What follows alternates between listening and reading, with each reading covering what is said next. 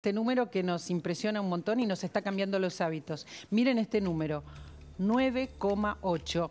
9,8. Esto es lo que dijo el INDEC. Aumentaron los alimentos y las bebidas eh, solo en el mes de febrero. Estábamos hablando, Rubén, de un 6% eh, para, para febrero, pero este es el número que nos importa, alimentos y bebidas. Y les vamos a contar hoy cómo están cambiando los hábitos, qué está comprando la gente, qué estamos comprando y qué dejamos de comprar. Hay gente, Rubén, que nos cuenta que ya no compra queso rallado, que ya no compra yogures, que compra lo mínimo, que compra poco, que compra menos, que compra al peso. Han cambiado todas las costumbres. Esto dicen en el Ministerio de Economía, Rubén, que es por la carne. ¿Vos qué decís? A ver, en parte es por la carne y es cierto, porque la carne fue eh, uno de los indicadores que más subió. Pero lo que habría que decirle al gobierno es es uno de los indicadores que más subió porque el precio de la carne estuvo contenido durante todo el año pasado, prácticamente todo el año. Les venía eh, atrás de la inflación muchísimo la carne y obviamente en los primeros dos meses de este año empezó a despertarse. Era algo lógico. Sí. Ahora, pero después hay números que están ya medidos y medidos oficialmente que no lo pueden contrarrestar. El consumo de alimentos cayó 1,5% en enero y venía cayendo casi 3% en febrero. Esto, esto no es un invento de ninguna consultora, son los números de ver lo que vos estás diciendo, cómo baja la, la compra de alimentos de la gente en los supermercados, en los más chicos y en los almacenes. Esta es una realidad. La gente ah. tiene menos plata, los alimentos suben de precio y compran menos. Exactamente. Hicimos un relevamiento, vamos a hablar con un economista en breve, hicimos un relevamiento de algunas cuestiones que han cambiado. Y, por ejemplo, ahora algunos productos, algunos productos en los supermercados tienen esa alarma para que no se lo roben, pero si saben, ¿saben cuál es? Por ejemplo, eh, un desodorante, Rubén. Un desodorante tiene una alarma. Tiene una alarma, es como pasó a ser un bien importante, un bien que no compran muchos y que se pueden robar. El queso de rayar tiene alarma muchos elementos de perfumería, la, presto barba, la, afeitadora. Ahora, las hojitas, las claro, las hojitas, pero también el queso rallado tiene. El queso para rallar tiene en el súper, lo vi, tiene una alarma. La misma que la ropa. La misma que, la, misma, que, puede tener una blusa. a ver, el tema son los alimentos. ¿Qué estamos comiendo en realidad? ¿Qué dejamos de comer? ¿Cómo se pone en las pastas que son baratas? Las pastas siguen siendo baratas. No le ponen queso rallado a la, a la pasta. Todo está cambiando un montón. Diego está, Diego Lewen está, además de la lluvia, está justamente conversando con los comerciantes y está en una fiambrería. Cambiaron un montón las costumbres y queremos saber qué compra la gente, Diego. Así es, María Laura. Mira, acá te vamos a mostrar los 100 gramos de queso rallado comprando acá en esta feria en primera junta del gobierno de la ciudad. 270 pesos los 100 gramos. Pero para que te des una idea, nosotros más temprano estuvimos con Chiche Sabor en Morón, en un almacén, la primera marca de queso rallado por 35 gramos, es decir, tres veces menos valía 220 pesos. Esto significa que ante la gran inflación que hay, sobre todo en alimentos y bebidas no alcohólicas, que ya superó el 15% en enero y febrero, fue más alta que la inflación, hay que caminar y hay que buscar precio más que nunca. Pero vamos a hablar con Graciela porque eh, ella atiende en esta fiambrería para que nos cuente esto que vos decías, María Laura. ¿Cambiaron los hábitos de consumo? ¿La gente consume más, consume menos? ¿Consume distintos productos, los más baratos? Sí, consume distinto, trata de organizarse como para que le rinda también. Eh, comprar el fiambre, aproximadamente podés gastar dos mil pesos y comen más personas que en la carnicería. Porque con dos mil pesos en la carnicería no, no, no podés hacer mucho. Claro. ¿Y te han cambiado los hábitos de consumo? Gente que antes te compraba, no sé, un cuarto que había en promoción o medio kilo y ahora te compran solo 100 gramos o en vez de jamón te piden paleta y miran bastante los precios, pero igual de todos modos lo que noto es que la gente por ahí con un kilo de fiambre eh, puede hacer mucho más que, comprando pollo o carne o lo que sea. O sea, cambiaron los hábitos alimenticios. sí, totalmente, totalmente no podés ni siquiera ir a una verdulería porque también gastás 3 mil pesos como nada. Y ahora, ¿cuánto te aumentaron a vos los productos en enero y febrero, más o menos? cada vez que viene con un 5, un 10, un 15, un 10 y así están, no paran de aumentar. O sea, vos ahí tenés que remarcar los precios todos los días, los tenés que cambiar todas las semanas. Y a veces te aguantás algunos precios porque si no, no vendés, pero los precios los aguantás vos, los aumentos. A ver, le Esa quiero preguntar algo. ¿Puedo o si no comerciante. o transmitirte a vos? totalmente. Nada, nada que ver a lo que fue esto. A ver, sí, María Laura, dame un segundo, ya le ponemos No, retorno. si no te transmito, a ¿no? Graciela Porque para que te escuche. quiero Ahí, saber mira, Ya le también- ponemos el retorno, dame un segundito. Sí, cómo no. Ahí ya te está escuchando. Hola, Graciela, ¿cómo estás? ¿Cómo estás, Marí? Eh, ¿Todo bien, vos? Muy bien, muy bien. Eh, escúchame, un gusto, un gusto saludarte, un placer. Igual. Yo recuerdo la época en que uno iba al almacén y anotaba, el almacenero, el fiambrero, en tu caso, anotaba y uno después compraba y pagaba todo. ¿Eso sigue existiendo?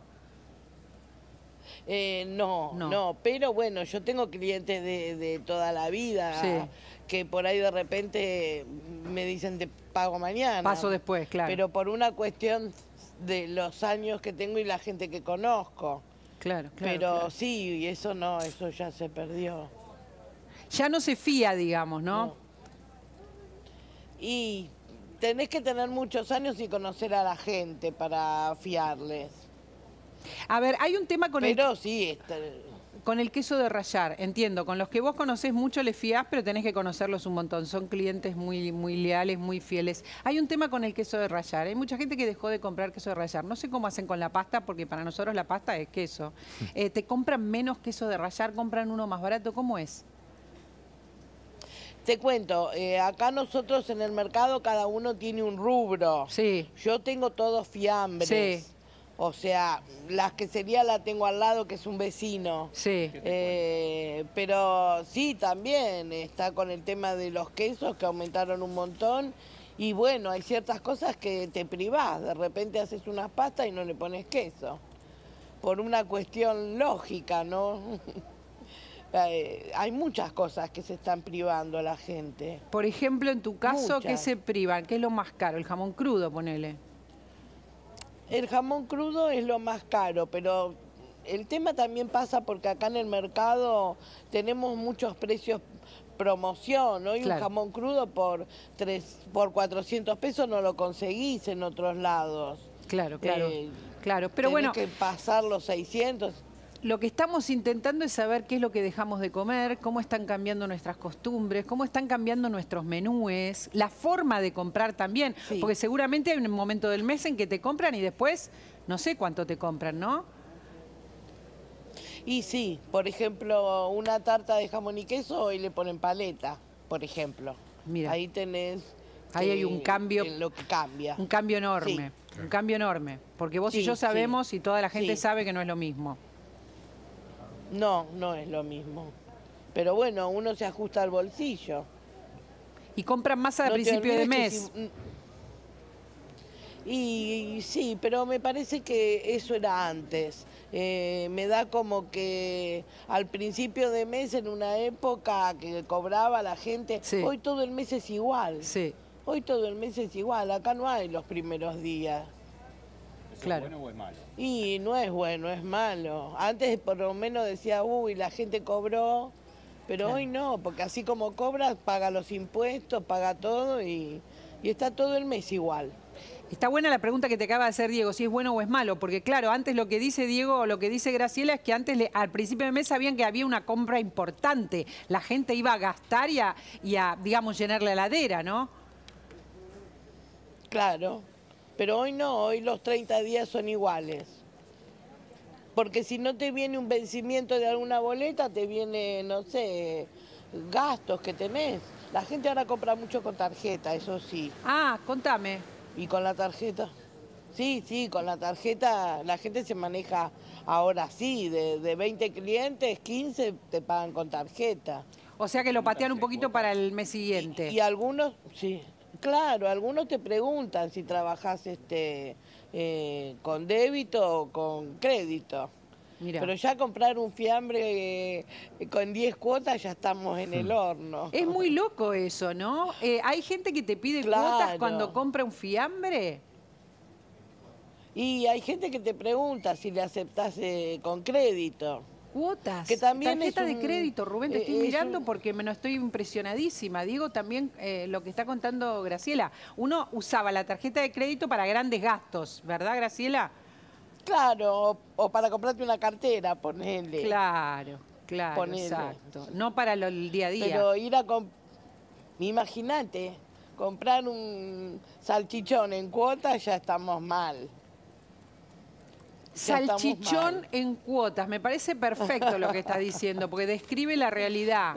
No, claro, nos reímos, pero nos reímos de la desgracia, ¿no? Los supermercados Sí, sí, están ofreciendo, of- las cajeras es normal, ofrecen cuotas y hay, mm, ya es una práctica desde hace un tiempo largo, que se está pagando, se está dividiendo, en general hasta tres cuotas es el promedio, los números grandes de, la- Sí. de las compras.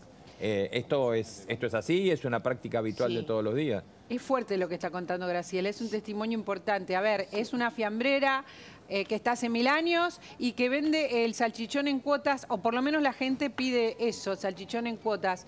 Yo le agradezco un montón a Graciela. 33 años acá adentro. 33. mirá. Habré visto, 33 pasaron muchos gobiernos por acá.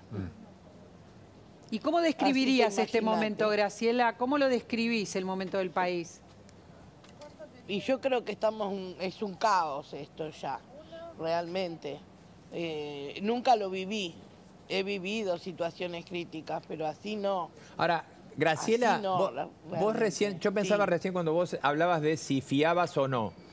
Hay un tema de confianza, Sí. pero ahí tenés otro tema también. Si alguien te, te- te pedalea durante 15 días un pago, ¿cómo haces después para reponer la mercadería a la velocidad de inflación? ¿Cómo estás haciendo con eso? Porque vos ah, Y las bueno. cosas el primero de febrero las pagás un precio y cuando viene el distribuidor el primero de marzo, este, obviamente es otro. ¿Cómo te estás manejando con eso? Tenés que sacar plata del bolsillo para poder reponer. O si no, tenés que aumentar los precios a cada rato y no vendés tampoco. Porque Gracias. la gente mira los precios. Graciela, te tengo que despedir, tenés que seguir trabajando. Me quedo con esto Dale, que dijiste, eh, lo del Dale, salchichón en cuotas me impresiona, pero además esto que dijiste recién, de que este, este momento es un caos para vos, que hace 33 años que estás Sí. ahí y que describirías Sí, este y momento, Nunca viví esto.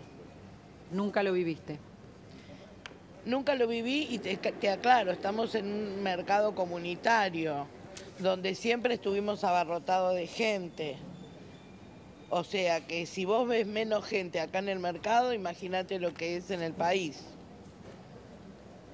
A ver, eh, eh, me interesa muchísimo el trabajo que estás haciendo, Diego. Si podemos conversar con otros puesteros, si podemos conversar con los comerciantes, con los, con los clientes, con los que están haciendo las compras. Estamos intentando entender qué vamos a hacer todos eh, con la compra de alimentos y bebidas. 9,8 dice el INDEC, solo febrero. Sabemos y lo vamos contando todos los días que eh, marzo va a ser más alto.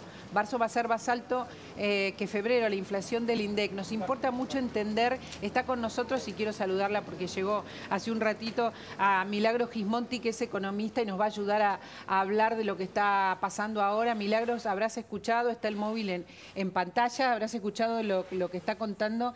¿Cómo hacemos para manejarnos con un casi 10% de inflación en alimentos? Buen día, María Laura y equipo. Eh, la verdad que es muy difícil porque no es solamente desde el lado del consumidor que tiene que ir adaptándose, ¿no? Que por supuesto se adapta, compra menos, compra en cuotas, sino que fundamentalmente también Graciela, como comerciante, esto que recién decía, no puedo remarcar.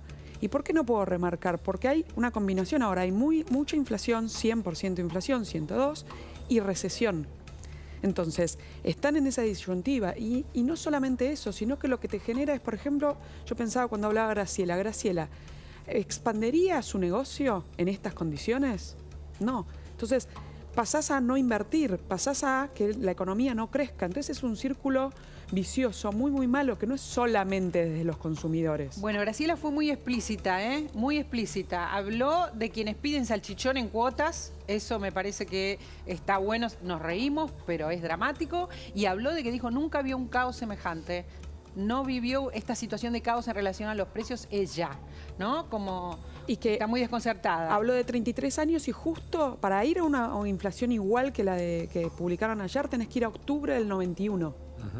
O sea que sí, 30 años atrás. Vamos a hablar de eso, de la inflación histórica. Está Diego Leguen. ¿Con quién estás, Diego? Mientras tanto, te escucha Milagros, Rubén, Gaby. Estamos acá también. Gabriel es la Vicky que acaba de llegar. Ya tuvimos el testimonio de un comerciante, pero ahora está bueno hablar con los clientes, Dale. los que vienen a comprar alimentos. Y acá está Carlos. Eh, contame, Carlos, ¿qué venís a comprar y, y cómo te influye a vos en tu bolsillo la inflación?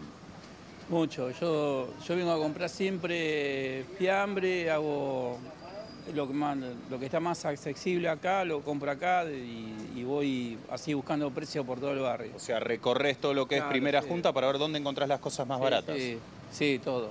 Todo lo que es huevo, eh, lo que es carne, todo eso. Voy, voy, voy recorriendo, voy buscando precios. Por momentos acá tenés ofertas y a veces salen ofertas acá y, y quizás que en otro lugar, no, te, no sé, vas a Yerbal y encontrás ot- otra oferta y bueno, vas así, así distribuyendo así. ¿Qué cosas dejaste de consumir porque eran muy caras para vos? Eh, y bueno, bajé mucho el, el tema de los cortes de la carne. Así, así la carne es muy, muy cara. Eh, me fui a corte muy barato. Mirá, eh, estoy comiendo quijada, para darte una vuelta. Quijada. ¿Cómo te pone eso, digo, a nivel anímico? Porque trabajás y no Sí, podés no, quizás sí, comer lo que querés. Sí, lo que pasa es que yo veo una situación peor que la mía y bueno, me conformo con eso, ¿viste? Yo hoy como, hay gente que no está comiendo hoy en día en Argentina. Hay mucha nutrición, mucha. por el tema de inflación, ¿viste? Eso es. ¿Qué cortes dejó de comer? Pregúntale, Diego. que mucho más caras, Quijada es entonces re barato. espera que te vamos, te vamos a poner, le vamos a poner retorno, Dale. María Laura, para que directamente hables eh, con Carlos. Pero María Laura te preguntaba, eh, ¿qué cortes dejaste de comer? Eh, por ejemplo, bueno, el asado, el asado, el lomo. Bueno, el lomo es, es- es algo eh, que no esté al alcance. Eh, los bifes, eh, bueno, el cuadril, todo lo que, eh, toda la gama de churrasco, Sí. así de comer casi todo. Y lo único que compro es eh, beef, por ejemplo, para tener Claro, cuenta. para hacer un bife. ¿Y quijada qué se hace hígado. con quijada? Guiso. Y mirá, así. eh, con, eh, con picada, ¿ves? Con quijada, con Ah, quijada. no. ¿Qué haces? Ah, no, es un, es un, es un tratamiento que tenés que hacer. Tenés Ah. que hervirla mucho, por lo menos dos horas y media, con agua. eh, obviamente, ¿no? Eh, ponerle un poco de, eh, de, de vinagre, Sí. dejarla así, así hervida. Sí. Después, las, eh, después la vas eh, limpiando, ¿no? Y, y te queda casi, si vos lo... eh, algo parecido como la, como la lengua, así, así Como te para quedaría. Ah, mira. tiernizarlo un poco. Claro, claro, sí. Claro. Algo Mirá, así. Mirá lo que se, estamos se eterniza mucho. Se ¿entendés? tierniza, se ablanda. Claro, no, no, es una. Claro, calculada dos horas y medio en, el- en- en una olla, eh, ponerle un poquito de vinagre para que salga el olor, así, así después la, así y después vos la, vos, vos la limpiás y bueno, es un, es un corte accesible. Espera, estamos como casi en una economía de guerra, ¿viste? Cuando eh, nosotros conocemos mucho los cortes baratos porque nuestros abuelos, los que fueron inmigrantes, Claro, sí, sí. eh, nos cuentan y nos hacían y nos hacen el hígado con cebolla, los riñoncitos, todos los platos italianos que tienen que ver con la economía de guerra, Claro. que son una delicia. Pero digo, esos cortes que no se suelen usar en la Argentina, ¿no? Con No, no, costumbre en una época no. semanal. Eh, Claro, eh, vamos a suponer, en una época vos ibas a comprar y que si ya vos, eh, vamos a suponer, lo que yo gano lo, Sí. eh, lo estoy destinando en la, en la economía, en porcentaje. Claro. Vamos a suponer, yo gano X cantidad de sueldo, bueno, en un porcentaje, un 40% va destinado a, la- a la con- a la- a lo que es la economía, a lo que es la comida. La comida. ¿Entendés? Eh, Sí. Así, así en sí. Perfecto. Claro, o sea que eh, tu poder adquisitivo así bajó en un montón. Es Eh. un montón así, así lo que está bajando. Y todo es un estrés. Ir a comprar, yo te digo que me suena como un estrés. Un Des- estrés. uy, no sé con qué te vas a encontrar. Claro, es un estrés ir a comprar, porque no disfrutás. Y no. Des- no sabés con qué te vas a encontrar. Y, por ejemplo, la- eh, lo último que el asombro que me encontré fue el kilo de naranja, 550 pesos. Eso, bueno, de 200 pesos que estamos pagando el kilo, o 3 por 2, 3, kilos por, o 2 kilos por 200, pasamos a 500 pesos. ¿Entendés? Entonces es algo, es algo que está inalcanzable ya. Es un estrés, Y eso tenés toda la razón del mundo. Es un estrés porque además, ¿sabés qué? No, No. hay precios de referencia, eso es la sensación, ¿no? Eh, conozco y pasé por un lugar donde venden las naranjas de a una. Vos, vos pagás cada naranja. Claro. O sea, no hay precio de referencia. Vos tenés una plata, dijiste, destinada para tu compra mensual y obviamente no te alcanza y cada vez tenés que comprar cosas más baratas. Claro, no, sí, y bueno, el, ahí eh, vamos a suponer, vos Sí. estamos hablando, vos estás hablando de una persona que está trabajando. ¿Qué pasa con aquel, aquel que no trabaja? ¿Entendés? El que vive día a día. Entonces, eh, estás hablando de un nivel más o menos Sí. eh, de bajo, pero Claro. el que está más abajo que vos está, así la está pasando mal. ¿Entendés? Entonces, eh, vamos a encontrar con, con casos de desnutrición en los chicos, en los abuelos y bueno, en, eh, en todo esto, lo, así, así lo que estamos. Si esto se transforma en algo crónico, Claro. el tema acá pasa por la inflación. Si no se resuelve la inflación, es- en- vamos a suponer, este gobierno, no, así no creo, pero el próximo, así, así gobierno, no hay un parate de, la inflación, vamos a tener consecuencias muy, muy crónicas. Vamos a ir a, eso, ahí sí vamos a estar en Venezuela, en Cuba, en esos países que, que ya es algo crónico el tema ese. Y no tenemos que llegar, porque tenemos la materia prima, tenemos un país que tiene todas las condiciones para estar un poco, mucho más mejor, ¿viste? qué sé yo, no nos merecemos esto, pero bueno, eso va a ser que es un cambio de mentalidad. Es muy fuerte lo que estás diciendo. Quiero que también que, que- que opine Milagros, que está con nosotros, es economista, sigue los temas. Eh, lo que está contando Carlos es muy, muy fuerte. No, nos representa a muchos la sensación de que no hay precio del estrés. Está Gabriel, que es psicólogo, también nos va a ayudar con eso. Ir a hacer unas compras es estrés. Vos vas con una plata y no, no te alcanza para nada. Pensás y calculás. La última vez compré naranjas, la semana pasada salía una plata. Vas y sale 550, ¿no? Eh, la perspectiva eh, es mala para este año. Digo para que Carlos también vaya sabiendo. Sí, es muy importante dos cosas que, dijo, no. que dijo Carlos, ¿no? Sí, te Por te- estamos Ah. escuchando Milagros. Después le contestás, dale, así estamos todos en plano. Ah, dos cosas que dijo Carlos muy importantes. Sí, Esto que es un estrés que nos complica la vida, porque no es solamente que la inflación pasó del 50 al 100, que sea del 100 significa no solamente obviamente que todo se duplicó, que si el año pasado tenías dos billetes de 500, hay uno que te lo sacaron. En un año hay un billete que te lo sacaron. Pero además de eso, es que todas las semanas cambia, todos los días cambia, entonces por eso te complica la vida.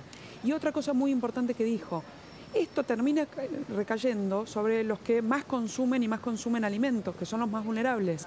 Entonces, lo que estamos viendo es que la pobreza ya está en aumento y que probablemente este primer semestre de año sea similar a lo que fue la pandemia. A ver, espera, porque se conoce bastante tarde, pero sí, Sí. podemos estimarlo. ¿De qué número estás hablando? de Y para este semestre, para Sí. el primer semestre de 2023, del 42% de pobreza, 42. que es lo que llegó justamente, fue el semestre, el primer semestre de 2020, que claro, estábamos en una Eso- pandemia. Eso, ya lo estima Martín Rosades, econometrista de Itela, que hace ese seguimiento mes a mes, obviamente con bases de datos del INDEC, y dice 42 es el número que le está dando para, para este periodo. Y para gente como Carlos, que tiene un trabajo, que tiene que lo tiene que organizar, eh, lamentablemente le tenemos que contar y nos tenemos que contar a nosotros mismos también que el año este va a ser así. Rubén ya adelantó varias veces y nuestras mediciones que en marzo la inflación va a ser más alta, ¿no? O sea, Carlos se tiene que eh, se tiene que entregar al estrés.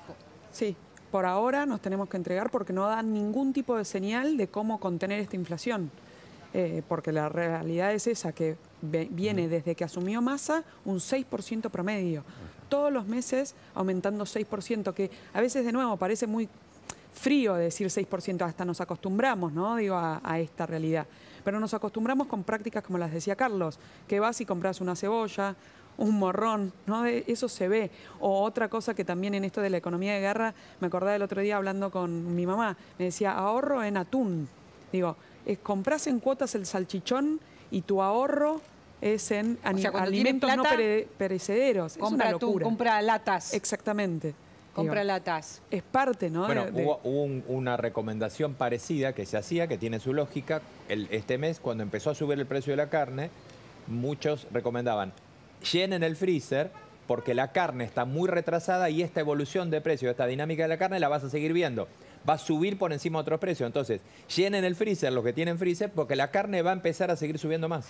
Carlos está diciendo, Gabriel, lo que nos representa a muchos. A muchos. Vamos con una plata y podemos comprar mucho menos. Dejamos de comprar cosas que íbamos a comprar.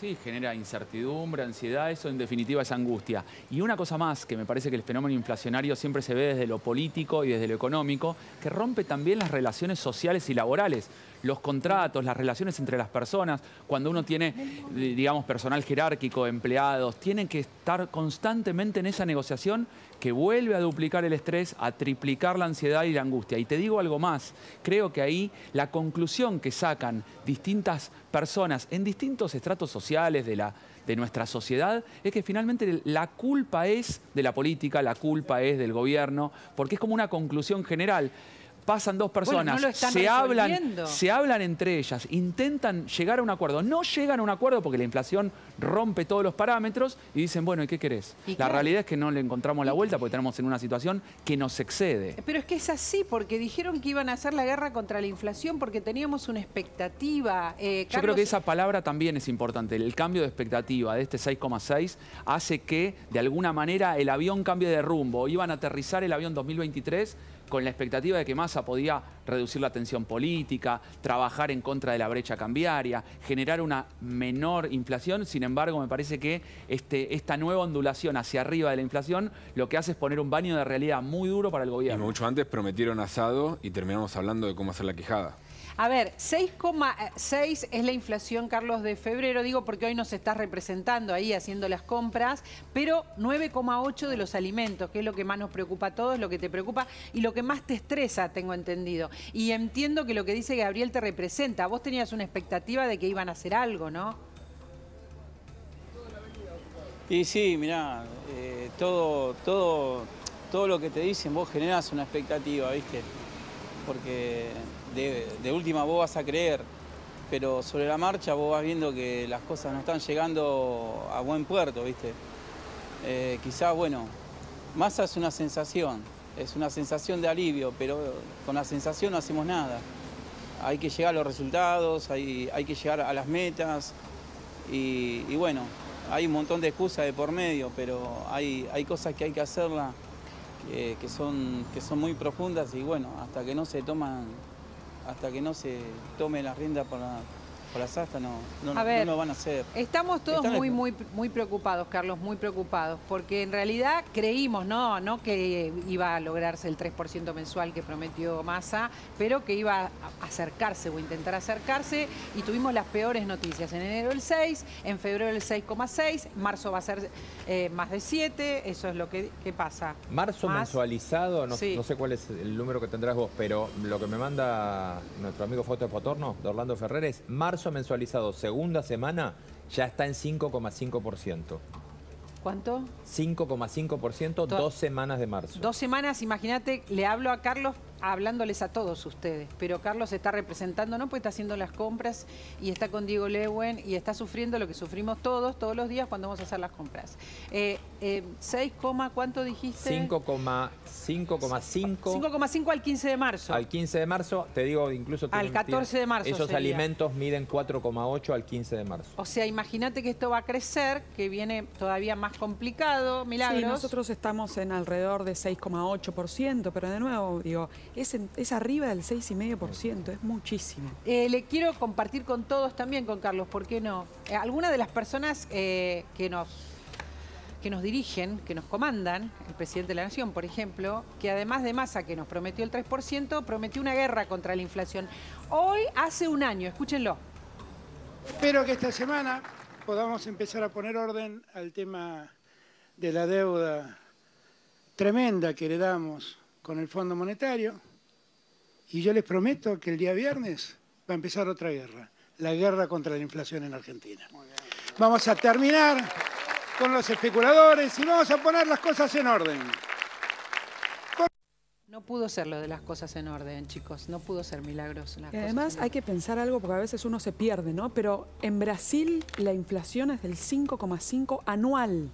En Colombia, que es el país que tiene una inflación alta hoy para lo que es América Latina, 13% anual. Nosotros 13% en dos meses. Entonces, realmente es eso, ¿no? Uno cuando se pone en perspectiva dice, ¿por qué somos tan bicho raro? Porque, digo, los empresarios argentinos son tan distintos a los empresarios colombianos, brasileros.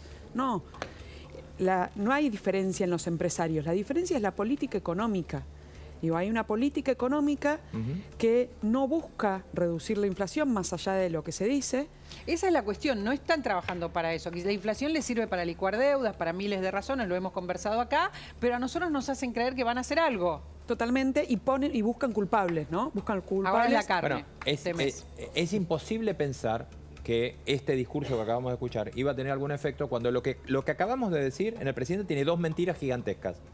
Una, que el problema de la deuda argentina y de la presión sobre las cuentas de todos los meses es el tema del, del FMI, que no lo es, porque es, si el problema de Argentina es una deuda, es otra deuda y no esa, y es lo que está pasando con el- la financiación del Banco Central. Y el segundo punto, que el problema de la inflación es, la- es de los especuladores. Es decir, dos mentiras enormes, dijo el presidente, que desde ese día debíamos haber dicho todos, listo, esto no va a funcionar. Pero Y hay una mentira, perdónenme, hay una mentira que no dice nadie y que hay que decirla, eh, que es esto de que no están peleando contra la inflación, porque la inflación les es, le- les es funcional.